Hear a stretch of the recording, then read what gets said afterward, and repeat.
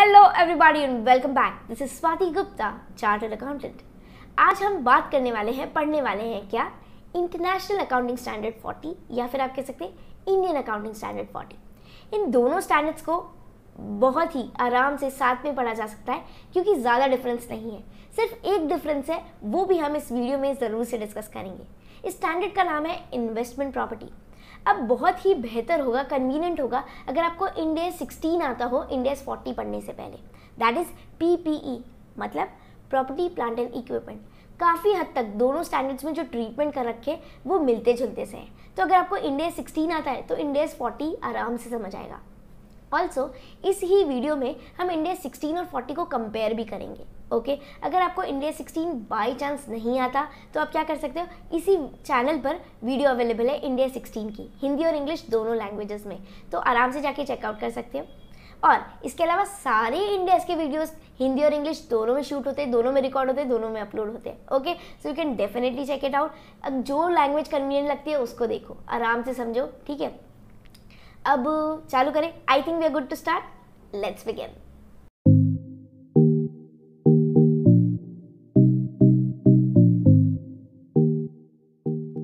सबसे पहले समझते हैं इन्वेस्टमेंट प्रॉपर्टी मतलब हम कब कोई भी चीज़ को इन्वेस्टमेंट प्रॉपर्टी के क्राइटेरिया में इंक्लूड करेंगे और जैसे ही इंक्लूड हो जाएगा हम क्या करेंगे? इंडिया फोर्टी के हिसाब से ट्रीटमेंट करेंगे. ओके सबसे पहले देखते हैं इसका meaning investment property means investment in land building और पार्ट ऑफ़ बिल्डिंग मतलब कोई फ्लैट में कर दिया, कोई रूम में कर दिया, एक पोर्शन ऑफ़ बिल्डिंग ले लिया, एक पोर्शन बिल्डिंग में एक शॉप ले ली, ठीक है? या फिर both land and building okay ऐसी चीज़ें क्या कहलाएगी? इन्वेस्टमेंट प्रॉपर्टी कहलाएगी. इसके अलावा एक कंडीशन और क्या है? It should be held by the owner और लेसी विथ ऑब्जेक्टिव ऑफ़ या तो रेंटल का इंटेंशन हो या फिर कैपिटल अप्रिसिएशन का इंटेंशन हो। मतलब या तो ऑब्जेक्टिव क्या हो? रेंट रिसीव करना मंथली पीरियोडिकली जैसे भी रहता है। रेंट रिसीव करना या फिर कैपिटल अप्रिसिएशन मतलब आपने खरीद के रख लिया। आपका मेन मोटिव है कि यार दस साल बाद, पाँच साल बाद जब इसकी वैल्यू बढ़ जाएगी, हम बेचकर जो डिफरेंस होगा, वो प्रॉफिट के तहत अपना बुक कर लेंगे। तो आपका दो मोटिव हो सकते हैं, या तो रेंटल या कैपिटल अप्रिसिएशन, या फिर दोनों। अगर ये मोटिव है, ओनर ने हेल्ड कर रखी है या लेसी ने हेल्ड कर रखी है? क्या है? लैंड बिल्डिंग या पार्ट ऑफ़ बिल्डिंग या लैंड एंड बिल्डिंग बोथ? ऐसा है तो वो क्या कहलाएगा? वो इन्वेस्टमेंट प्रॉपर्टी कहलाएगा। अब सिमिलर इन्वेस्टमेंट अगर क्यों कर रखा है? अगर further production of goods and services के लिए कर रखा है तो वो कवर होता है पीपीई में that is Ind AS sixteen okay किसमें कवर होता है? इंडिया सिक्सटीन इंडिया सिक्सटीन में कब आएगा? जब वो further production of goods and services के काम आए। और जब आपका सिर्फ़ और सिर्फ़ पर्पज हो रेंट रिसीव करना, वो किसमें आएगा? इन्वेस्टमेंट प्रॉपर्टी अगर इन्वेस्टमेंट प्रॉपर्टी है तो इंडिया फोर्टी के हिसाब से ट्रीटमेंट होगा। आई एस फोर्टी के हिसाब से ट्रीटमेंट होगा।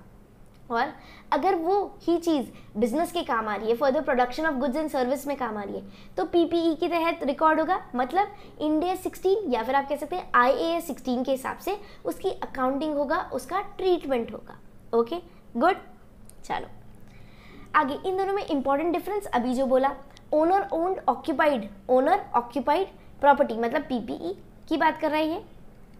और यहाँ पे इन्वेस्टमेंट प्रॉपर्टी इंडेस 40 की बात कर रहा है। यहाँ पे इंडेस 16 की बात कर यहाँ पे ऑब्जेक्टिव क्या रहता है? इन्वेस्टमेंट में रेंटल और कैपिटल अप्रिसिएशन जबकि occupied property owner occupied property PPE का क्या रहता है? Production of further goods and services इसका नेचर नॉन बिज़नेस होता है, इसका बिज़नेस होता है. इन्वेस्टमेंट लैंड एंड बिल्डिंग में तो इसमें भी सेम है, दोनों में सेम है. No significant integration of service ये इंपॉर्टेंट है. और यहाँ पे सिग्निफिकेंट इंटीग्रेशन ऑफ़ सर्विस क्या बोल रहा है? फॉर एग्ज़ाम्पल आपने सिर्फ़ रूम किराए पे दे दिया बिल्डिंग किराए पे दे दी। तो आप क्या करते हो? आप सिर्फ़ और सिर्फ़ दे देते हो और रेंट कलेक्ट कर लेते हो। क्या आप देखते हो? बाकी सारी सर्विसेज़ प्रोवाइड करते हो? कि AC भी होना चाहिए वाईफाई भी होना चाहिए, ऐसे सब देखते हो? उसको फ़ूड भी लेना चाहिए। बहुत सारी चीज़ें का ध्यान रखते हो? नहीं। इसमें इंपॉर्टेंट पार्ट क्या होता है? रेंटिंग में जो मकान है, वो रहता है। जबकि अगर आप होटल के रूम में गए तो होटल में रूम उसका इंपॉर्टेंट नहीं है। उसमें बहुत सारी सर्विसेज़ रहती हो। रूम कीपिंग की सर्विसेज़ हाउस क्लीनिंग की, ठीक है? और इसके अलावा रूम में ही खाना आ जाता है। रूम की टॉयलेटरीज वगैरह एक्स्ट्रा मिलती है।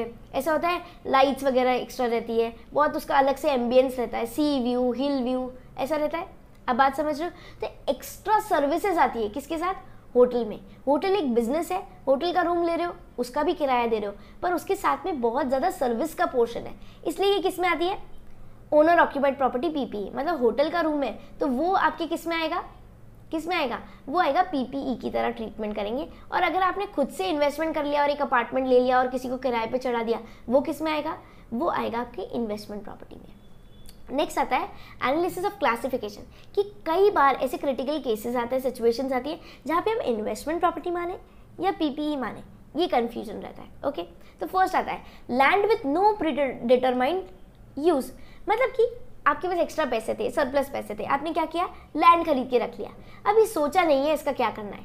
इसको ऐसे ही रखना है कि इस पर कॉम्प्लेक्स बनाना है, कि इस पर अपना खुद का फार्म हाउस बनाना है, कि रेजिडेंशियल स्पेस बनाना है, कि एक कमर्शियल शॉप्स का बिल्डिंग खोल देनी है, ठीक है? ऐसा कुछ भी आपने सोचा नहीं है कि अभी इसको कैसे यूज़ करना है, क्या करना है। नो प्री डिटरमाइंड यूज़ तो भी हम क्या करेंगे? ऐसा मानेंगे कि इन्वेस्टमेंट प्रॉपर्टी है। क्यों? क्योंकि अगर लैंड को कुछ भी ना किया जाए तो भी कैपिटल अप्रिसिएशन तो हो गई। ऐसे बोला जाता है लैंड के भाव बढ़ते ही जाते हैं। It is not depreciable asset आपको पता है? तो क्या बोल रहे हैं? हम इन्वेस्टमेंट प्रॉपर्टी मान लेंगे बिकॉज़ इन एंड आउट जब भी अगर नई डिटरमाइंड यूज़ है तो भी land provides appreciation value at time of disposal जैसे जैसे टाइम बीतता जाता है वैसे वैसे लैंड की वैल्यू बढ़ती जाती है। ओके नेक्स्ट आता है building acquired on finance lease and given on operating lease खरीदा कैसे फाइनेंस लीज पे। मतलब लीज ओनर बन गए आप एक तरीके से। फाइनेंस लीज ओनर जैसे बन गए। ठीक है? ओनर और आगे आपने ऑपरेटिंग लीज पे दे दिया। इसका मतलब? इसका मतलब आपको रेंटल्स प्रोवाइड हो रहे हैं। तो ये किसकी तरह आएगा? ये भी इन्वेस्टमेंट प्रॉपर्टी की तरह आएगा। पढ़ो। Asset held under finance lease is a type of owned asset क्या है?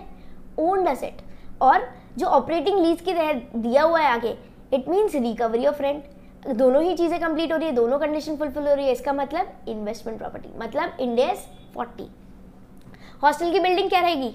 इन्वेस्टमेंट प्रॉपर्टी क्योंकि वहाँ पे सर्विस सिग्निफिकेंट नहीं है. जबकि होटल में सर्विस सिग्निफिकेंट है. सर्विस सिग्निफिकेंट है मतलब पीपीई की तरह. ओनर ऑक्यूपाइड प्रॉपर्टी यहाँ पे लिख लो पीपीई अच्छा एक और बात. ये नोट्स डिस्क्रिप्शन बॉक्स में इसका लिंक दे रखा है, आप आराम से डाउनलोड कर सकते हो, जब चाहो जब रेफर करने के लिए अपने पास रख सकते हो. ओके डिस्क्रिप्शन बॉक्स में लिंक है। नेक्स्ट आता है building acquired by holding company and given on rental for subsidy holding ने खरीद ली और सब्सिडी को दे दिया, काम यूज़ में लेने के लिए ओके अब इन्वेस्टमेंट प्रॉपर्टी इंडिविजुअल फाइनेंशियल के लिए क्या है? इंडिविजुअल फाइनेंशियल स्टेटमेंट के लिए क्या है ये? इन्वेस्टमेंट प्रॉपर्टी क्योंकि वो कुछ रेंटल्स लेती रहेगी। जबकि कंसोलिडेटेड फाइनेंशियल स्टेटमेंट के लिए वो क्या है? क्या है? Owner occupied property that is PPE क्यों? क्योंकि होल्डिंग ने दे दिया आगे सब्सिडी को और ओवरऑल इन एंड आउट वो क्यों काम आ रही है? वो further production of goods and service के काम आ रही होगी। तो कंसोलिडेटेड फाइनेंशियल स्टेटमेंट में क्या दिखाएँगे हम? पीपीई की तरह। ओके नेक्स्ट आता है बिल्डिंग हेल्ड फॉर सेल अगर बिल्डिंग हेल्ड फॉर सेल है तो इसके लिए सेपरेट आईएफआरएस दे रखा है। आईएफआरएस 5 और आईएफआरएस 105 अभी ये रिकॉर्डेड नहीं है, पर अगले कुछ दिनों में पक्का से ये भी रिकॉर्ड होके चैनल पे आ जाएगा। तो उसमें भी हम डिस्कस कर लेंगे। बाकी ये अलग से स्टैंडर्ड दे रखा है। तो I F R S five या फिर आप बोल सकते हैं Ind AS five one zero five अगर बिल्डिंग हेल्ड फॉर सेल है तो ये ऐसे ट्रीटमेंट होगा। Next building redeveloped for sale मतलब आपके पास कोई बिल्डिंग है, कोई रूम है, कोई फ्लैट है, उसको लिया, आपने खरीदा, उसको एकदम उसका इंटीरियर एक्सटीरियर सब बदल दिया इन्हांस कर दिया उसका लुक ठीक है? उसको एकदम कैसा कर दिया? मॉडर्न कर दिया, कुछ भी चेंज कर दिया। और फिर उसके बाद में बेचा दस का खरीद के पचास का बेचा एग्ज़ाम्पल तो क्या होगा? इस, ये क्या है? ये एक तरीके से आपकी इन्वेंट्री है, जिसका ऐसा काम होता है, उसके लिए ये इन्वेंट्री की तरह ट्रीट होगा। किसकी तरह ट्रीट होगा? इन्वेंट्री और इन्वेंट्री मतलब इंडियस टू ओके अब इंडियस टू का भी वीडियो है इंग्लिश और हिंदी दोनों में अवेलेबल है चैनल पे अवेलेबल है। ओके अगर पढ़ना हो, मन हो, इच्छा हो तो प्लीज़ चेकआउट करना। बहुत ही सिंपल वर्ड्स में बना रखा है। I bet it would be worth watching इसके अलावा आई बटन में भी ऐड कर दिया इसका लिंक आप चेकआउट कर लेना ओके okay, पर इस वीडियो के बाद इस वीडियो को तो ख़त्म करो पहले। फिर अब देखते हैं इसकी अकाउंटिंग अकाउंटिंग कैसे करेंगे? सबसे पहले रिकॉर्ड करेंगे अगर दो कंडीशंस फुलफिल होती है। फ़र्स्ट कि वो फ्यूचर बेनिफिट प्रोवाइड करता है। Second it can be reliably measured इसकी कॉस्ट रिलायबली मेजर हो सकती है काउंट हो सकती है। यार यार कितना पैसा लगा ठीक है? अगर पैसा पता चल जाए कितना लगा, कैसे लगा, क्या कॉस्टिंग है, इसके अलावा फ्यूचर बेनिफिट प्रोवाइड करें। अगर दोनों कंडीशन फुलफिल हो तो हम क्या करेंगे? इसको इन्वेस्टमेंट प्रॉपर्टी मानेंगे। अगर आपको इंडिया सिक्सटीन याद आ रहा है, और अगर मेरा वाला वीडियो देखा हुआ है तो उसमें सेम हमने ये बातें करी है। करिए कि दोनों, उधर भी सेम कंडीशंस थी। नेक्स्ट मेज़रमेंट ऑफ़ कॉस्ट कैसे करते थे? उधर भी डिपेंड करता था कि मोड ऑफ़ एक्विजिशन क्या रहेगा। वहाँ पे हमने चार पढ़ी थी, यहाँ पे ये लीज वाला एक्स्ट्रा है। वहाँ पे purchase constructed self constructed exchange deferred payment ये चारों पढ़े थे। यहाँ पे हम पांचवा ये भी पढ़ने वाले हैं। अब क्या होता है? डिपेंड करेगा आपने इन्वेस्टमेंट प्रॉपर्टी को लिया कैसे? ठीक है? कैसे आपने एक्वायर किया है? उस पर डिपेंड करेगा कि आपकी कॉस्टिंग कैसी है। फ़र्स्ट देखते हैं। अगर परचेज इन्वेस्टमेंट इन्वेस्टमेंट प्रॉपर्टी है तो क्या होता है? देखते हैं उसका परचेज प्राइस पेड कितना है। नॉन रिफंडेबल टैक्सेस मतलब आपने कोई टैक्स पे कर दिया, उसका इनपुट नहीं मिलने वाला, कोई रिफंड विफंड नहीं मिलने वाला वो ऐड कर देंगे। कोई एक्स्ट्रा एकदम स्पेसिफिक एम्प्लॉय का कॉस्ट है, जिसने आपको हेल्प किया कंसल्टेंसी दी ब्रोकरेज किया, ये सब भी किसका पार्ट आ जाएगा? उस परचेज इन्वेस्टमेंट प्रॉपर्टी का पार्ट माना जाएगा कॉस्ट की तरह ऐड कर लिया जाएगा। अगर सेल्फ कंस्ट्रक्टेड इन्वेस्टमेंट प्रॉपर्टी है तो क्या होगा? कॉस्ट ऑफ़ लैंड लेंगे cost of material labour overhead देखना एक्चुअल एक्चुअल एक्चुअल इंपॉर्टेंट है। वहाँ पे भी सेम ऐसा था। इसके अलावा अदर डायरेक्टली एट्रीब्यूटेबल एक्सपेंसेस कुछ होंगे अगर तो वो भी ऐड कर देंगे। इससे, इसको ऐड करने से हमारे पास क्या जाएगी? सेल्फ कंस्ट्रक्टेड इन्वेस्टमेंट प्रॉपर्टी की वैल्यू आ जाएगी। इस वैल्यू पर हम रिकॉर्ड कर देंगे। नेक्स्ट आता है हमारे पास, अगर लीज पे है तो क्या करेंगे? प्रेजेंट वैल्यू करेंगे। किसका? फ्यूचर कैश फ्लो का। जो भी हर साल, अगले साल, समझो एग्ज़ाम्पल मेरे पास रेंटल्स आने वाले बीस हज़ार आने वाले अगले पाँच साल तक आने वाले तो बीस हज़ार इंटू ट्वेल्व एक महीने, एक साल का किया, उसका पीवी करेंगे। फिर अगले साल, फिर अगले साल, फिर हर साल दो लाख चालीस हज़ार का क्या करेंगे? पीवी करेंगे, उन सबको प्लस कर देंगे, जो एकदम ग्रॉस अमाउंट आती है इन सबको ऐड करके। तो हम उसको क्या मानेंगे? उसको हम इन्वेस्टमेंट प्रॉपर्टी का अमाउंट मान के रिकॉर्ड कर लेंगे। नेक्स्ट आता है क्या है? एक्वायर्ड अंडर एक्सचेंज मतलब एक असेट देके दूसरी असेट एक्वायर कर ली। फॉर एग्ज़ाम्पल आपने कोई लैंड का दूसरा टुकड़ा देकर दूसरी लैंड ले ली बिल्डिंग देकर लैंड ले ली, कुछ भी। कुछ भी देकर अगर लैंड खरीद लिया या बिल्डिंग खरीद ली इन्वेस्टमेंट कर दिया इन्वेस्टमेंट प्रॉपर्टी ले ली तो वो एक्सचेंज में आएगा। अब एक्सचेंज में इंपॉर्टेंट है कमर्शियल सब्सटेंस है या नहीं। अगर है तो हम फेयर वैल्यू पर रिकॉर्ड करेंगे, अगर नहीं है तो हम already carrying amount of asset पे करेंगे। अब बात समझो कमर्शियल सब्सटेंस मतलब फॉर एग्ज़ाम्पल अगर दो पेन है, एकदम एग्जैक्टली कलर भी सेम है ब्रांड भी सेम है अमाउंट भी प्राइस भी सेम है उसका, इसके अलावा उन दोनों में रिफिल भी सेम है। ठीक है? ऐसा नहीं है कि कोई हाफ़ यूज़ है, कोई फुल्ली न्यू है। एकदम एग्जैक्टली सेम है सेम टाइम पे खरीदा हुआ। अब इन दोनों में कोई डिफरेंस है? नहीं है। फॉर एग्ज़ाम्पल ये दो पेन है। अगर इन दोनों को एक्सचेंज भी कर लिया जाए, एक की जगह दूसरे ले लिया जाए, कोई फ़र्क है? नहीं है। तो क्या बोल रहे हैं? अगर कोई फ़र्क ही नहीं है, कोई डिफरेंस ही नहीं है तो मतलब कमर्शियल वैल्यू नहीं है। कमर्शियल सब्सटेंस नहीं है। सिंस कमर्शियल सब्सटेंस नहीं है तो क्या करें? तो क्या करेंगे? ऑलरेडी जो इस वैल्यू ऑलरेडी चल रही थी एक्सचेंज करने के बाद में भी जो वैल्यू है वो सेम ही रखेंगे। कैरिंग अमाउंट पे ही चलता रहेगा। जबकि अगर सब uh, क्या है? सब कमर्शियल सब्सटेंस है मतलब डिफरेंस है थोड़ा भी तो हम क्या करेंगे? फेयर वैल्यू पर रिकॉर्ड करेंगे। हमने एक्सचेंज किया जो फेयर वैल्यू चल रही है उस पर रिकॉर्ड कर लेंगे। आई बात समझ? पक्का से? गुड लास्ट हमारा आता है अगर आपकी इन्वेस्टमेंट प्रॉपर्टी कैसे एक्वायर्ड है? एक्वायर करिए on deferred payment deferred payment मतलब एग्ज़ाम्पल अगर सिंपल समझ रहा हो आपने कुछ तो डाउन पेमेंट कर दिया उसके अलावा ईएमआई पे ले लिया क्रेडिट पे ले लिया बोला दो साल बाद दूँगा छः महीने बाद दूँगा पैसे या अगले पाँच साल दस साल तक आप चुका रहे हो पैसे वो क्या कहलाता है? डेफर्ड पेमेंट हाथों हाथ पेमेंट नहीं देना। पर ये रिकॉर्ड किस पे होता है? कैश प्राइस पे। कैश प्राइस मतलब आपने जो हाथों हाथ पेमेंट कर देते ना वो अमाउंट क्या कहलाता है? कैश प्राइस फॉर एग्ज़ाम्पल अगर एक बार के लिए आ, कोई असेट खरीदी आपने वो कितने की है? दस लाख की है। ठीक है, एक फ्लैट खरीदा जो दस लाख रुपए का है। अब आपने उसको ई e पे खरीद लिया और ई e अगले दस साल तक भरते रहोगे और ऐसे करके लगभग कुछ इंटरेस्ट रेट पे वो आपको आउटफ्लो टोटल पड़ रहा है पंद्रह लाख का। अगर आप हाथों हाथ खरीद लेते तो कितना पड़ता? दस लाख का। पर आपने डेफर्ड पेमेंट पे खरीदा, आपको पंद्रह लाख का मिला। तो ये जो डिफरेंस है, वो क्या है? इंटरेस्ट का अमाउंट है। मतलब पाँच लाख का इंटरेस्ट है। और ये दस लाख क्या है? जो अपफ्रंट पे कर देते अगर कुछ भी ऐसा सेटअप नहीं होता डायरेक्ट परचेज हो रही होती तो दस लाख, ये कहलाता है कैश प्राइस क्या कहलाता है? Cash price cash price means यहाँ पे पढ़ो cash price means you pay the full price of the item up front हाथों हाथ पे कर देते रिकॉर्ड किस पे होगा? कैश प्राइस पे होगा, दस लाख पे रिकॉर्ड होगा। और ये पाँच लाख को कहाँ ले जाएँगे? ये पाँच लाख को ले जाएँगे पी एंड एल में। पी एल में। किसमें ले जाएँगे? पी एंड एल में। ओके गुड नेक्स्ट अब ऐसी कॉस्ट ऐसा चीज़ें जो पार्ट ऑफ़ कॉस्ट नहीं बनती। एग्ज़ाम्पल हमने देखा था, हर चीज़ एक्चुअल कॉस्ट एक्चुअल कॉस्ट ले रहे थे ले रहे थे मतलब यहाँ पे कोई भी एबनॉर्मल कॉस्ट होगी, वो इंक्लूड नहीं करी जाएगी, चाहे वो मटेरियल की हो, चाहे लेबर की हो, चाहे ओवरहेड की हो। ये सब डायरेक्टली पी एंड एल में जाता है। यहाँ पर एट्रीब्यूट नहीं होगा एट्रीब्यूट नहीं होगा तो क्या माना जाएगा? तो कॉस्ट का पार्ट नहीं माना जाएगा। मतलब नॉर्मल कॉस्ट मानी जाएगी एब नॉर्मल कॉस्ट पी एंड में जाएगी, यहाँ पर कॉस्ट का पार्ट नहीं बनेगा। Good next capacity building cost या फिर नोशनल रेंट मतलब अपॉर्चुनिटी कॉस्ट अपॉर्चुनिटी रेंट अगर इसको किराए पे चला दिया होता तो इतना मिलता। ऐसा जो मन में आता है ना, ये सब नहीं लेना, ठीक है? ये सब इंक्लूड नहीं करना। नेक्स्ट कोई प्रिलिमिनरी एक्सपेंस हो। प्री ओपनिंग एक्सपेंसेस हो प्री ऑपरेटिव एक्सपेंसेस हो, ठीक है? एडवर्टाइजमेंट के हो सेलिंग डिस्ट्रीब्यूशन प्रमोशन इसके अलावा एडमिनिस्ट्रेशन एक्सपेंस ये सब कुछ भी एक्सपेंसेस हो तो क्या होगा? ये डायरेक्टली पी एंडल में जाएँगे कॉस्ट का पार्ट नहीं बनेंगे। अंडरलाइन करो, यहाँ पे do not form part of cost good ठीक है। कमर्शियल सब्सटेंस यहाँ पे बता रखा है कि डिफरेंस होना चाहिए। The configuration of one asset is different from other configuration मतलब उसका रिस्क टाइम अमाउंट एटलीस्ट इनमें कुछ तो डिफरेंस होना चाहिए। फॉर एग्ज़ाम्पल अगर वो दो पेन थे ना, अगर अमाउंट भी एक पाँच का होता, एक छः का होता तो भी हम क्या मान लेते कमर्शियल सब्सटेंस है। अगर उसमें इंक का डिफरेंस होता है एक हाफ़ फिल्ड होती है एक फुल होती तो भी कमर्शियल सब्सटेंस है। आई बात समझ? When due to acquired asset value of business change मतलब या तो फिर मर्जर कर लो या ऐसे कर लो तो होता है ना सिनर्जी मिलती है तो कुछ तो एडिशन होना चाहिए तो ही हम क्या मानेंगे? इन्वेस्टमेंट प्रॉपर्टी मानेंगे।